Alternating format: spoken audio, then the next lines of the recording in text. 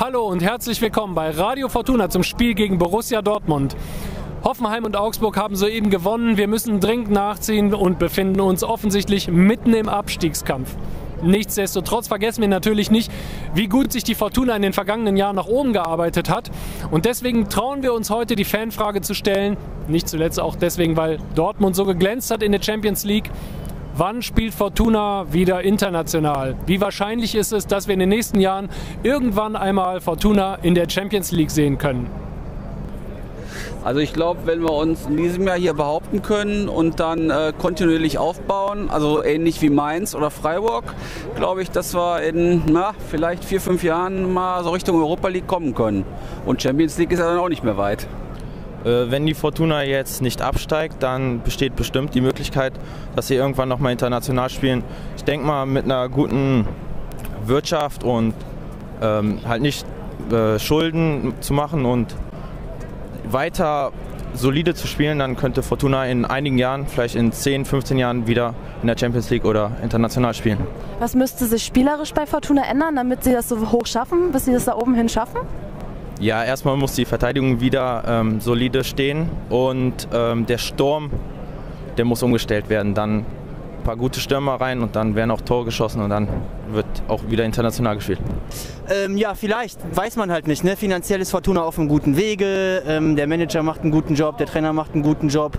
Sportlich äh, lief es ja bis zur Winterpause auch ganz gut. Mal sehen, wird sich zeigen. Was sagst du dazu? Also ich glaube auch, das liegt noch in weiter Ferne. Also ähm, Champions League jetzt davon zu reden, das ist irgendwie äh, ziemlich utopisch jetzt gerade, weil es geht einfach jetzt nur gegen den Abstieg und äh, also da denke ich halt überhaupt noch nicht dran. Ich meine, klar wäre das super, wenn das irgendwann so wäre, aber ähm, boah, nee, momentan äh, sehe ich da, sehe ich da nicht, nicht allzu rosig. Was müsste sich ändern, damit die Fortuna eine Chance hat, sich da hochzuspielen?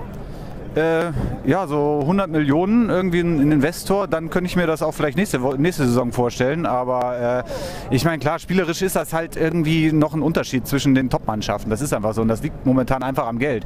Obwohl, wie Damian schon sagte, dass das halt irgendwie, dass wir finanziell auf einem guten Wege sind. Ne? Aber äh, um jetzt erstmal unsere Schulden zu tilgen und ich glaube, mittlerweile sind sie ja getilgt, aber äh, ja, da müssen, da müssen noch einige Top-Leute dann auch mal kommen.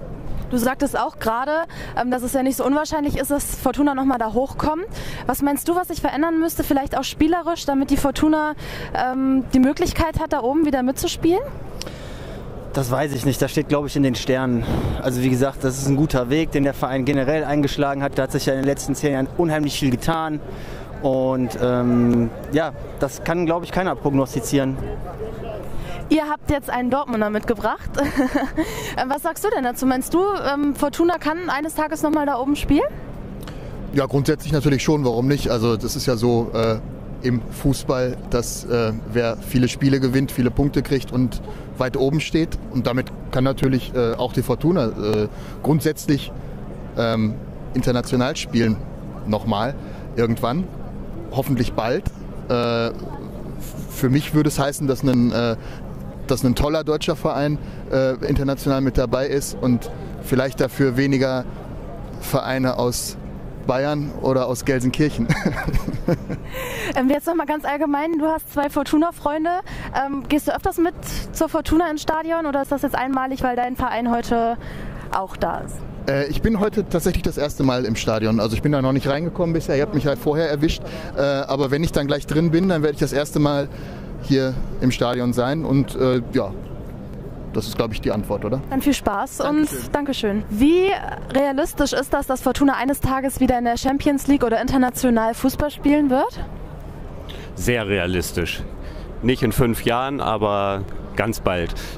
Was glauben Sie, ähm, was das Geheimnis daran sein könnte, was sich spielerisch verändern muss, was sich allgemein ähm, verändern muss, damit das bis dahin reicht? Ich glaube Kontinu äh, Kontinuität. Also das, was äh, im Moment bei Fortuna betrieben wird, ist das Erfolgsgeheimnis für die Zukunft.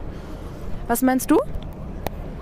Meinst du, Fortuna spielt irgendwann mal in der Champions League oder wieder international gegen die großen Vereine? Ja. Ja? Was sagst du dazu? Ich glaube das auch.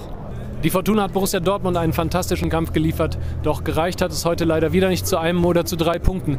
Die Enttäuschung ist groß. Was sagen die Spieler nach dem 1 zu 2? unglücklich, würde ich sagen. Also was unglücklich ist, selbst schuld teilweise. Ne? Also wir haben ja Möglichkeiten gehabt, um die Tore reinzuschießen. Wir stehen teilweise zwei Meter vom Tor und schaffen es einfach nicht, das Ding unterzubringen.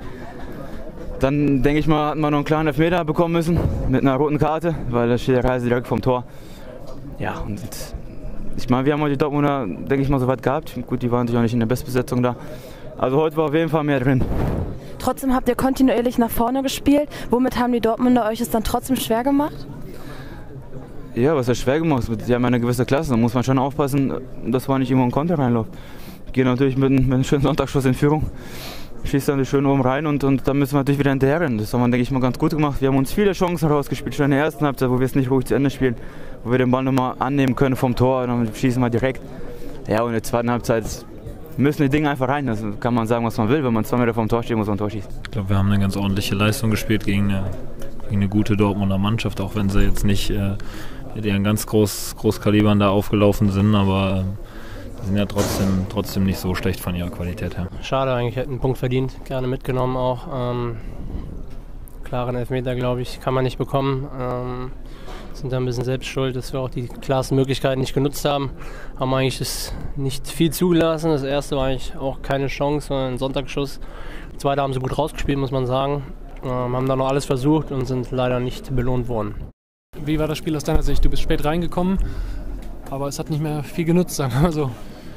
Ja gut, äh, ja, ich bin reingekommen, da war man dann im Rückstand, da war man auch schnell mit 2-0 im Rückstand. Ich denke, äh, da war eigentlich das Spiel schon, schon fast äh, gelaufen. Dann die, letzte, die letzten 15, 20 Minuten ist aber dann doch nochmal richtig heiß äh, hergegangen. Haben wir leider einen glasklaren Elfmeter nicht gekriegt. Da wäre es vielleicht nochmal spannend äh, geworden. Ich sage jetzt zwar nicht, dass wir deswegen gewonnen hätten, aber vielleicht hätten wir noch einen Punkt uns ergattern können. Äh, für mich leider ganz klare Fehlentscheidung. Äh, spiele den Ball durch die Beine und äh, der, der Mats hat ja auch selber gesagt, dass das Elfmeter war. Und hat er dir gesagt, ja? Ja, klar. Unter der Hand, unter Freunden? Ja, der ist sicher gesagt, äh, weiß jetzt nicht mehr, ob er gesagt hat, aber ich denke, das hat man ja gesehen, dass ich bin ja allein vom Tor. Wenn ich den Ball durchspiele, der fällt, ich, ich gehe allein vom, stehe allein vom Torwart. Und äh, ja, mir, dass man das mal nicht sehen kann, das ist, das, kann man ja verstehen, aber dann auch die Art und Weise, wie der dann mit uns Spieler umgeht und äh, dass der teilweise uns schon ins Lächerliche zieht, das fand ich dann schon extrem äh, hart. Halt. Ähm, das Tor von äh, Dortmund zur Führung war ein Sonntagsschuss, äh, hat Adam Bocek auch schon gesagt.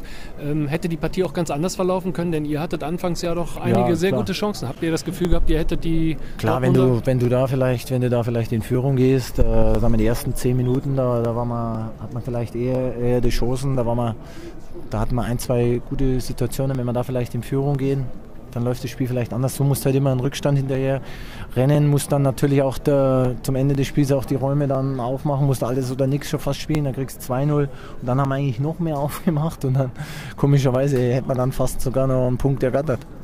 Wie ist denn jetzt deine Prognose für die letzten drei Spiele? Worauf kommt es bei euch an, außer natürlich Punkte sammeln? Wie, wie schwer ist es jetzt so eine Enttäuschung auch zu verdauen und dann sich wieder aufzuraffen? Ja gut, äh, das nächste Spiel geht wieder von, von null los. Es ist alles noch drin. Natürlich, das, ich bin jetzt in Frankfurt, wir haben Nürnberg und, und Hannover. Es ist, sind so Spiele, da haben wir, da haben wir in der Vorrunde auch äh, sechs Punkte geholt. Natürlich heißt das jetzt in der momentanen Phase nichts, weil wir jetzt nicht vor Selbstvertrauen strotzen. Aber es ist auch so, wenn wir, wir können äh, ein, zwei Spiele gewinnen. Wir können auch alle drei verlieren, das ist alles möglich. Aber eins muss man sagen, wenn wir halt dann eine gewinnen, dann hast du das halt am Ende nicht verdient. Aber ich, ich, ich denke, dass das immer noch möglich ist. Das wollen wir hoffen. Dann okay. wünschen wir viel Glück und alles Gute. Danke, Danke. tschüss.